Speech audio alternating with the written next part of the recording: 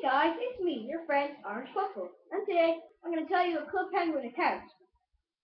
Okay, so the name is Lamsam890, spelled L-A-M-S-A-M 890.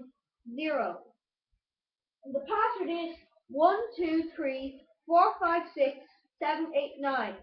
That was 123456 the details are also in the description if you want to get them from there. Guys, please don't ban the account just for the fun. Because no one likes it when the account is banned. Because some people like using the account. So guys, I hope this account helps. And please subscribe for more Puffle fun.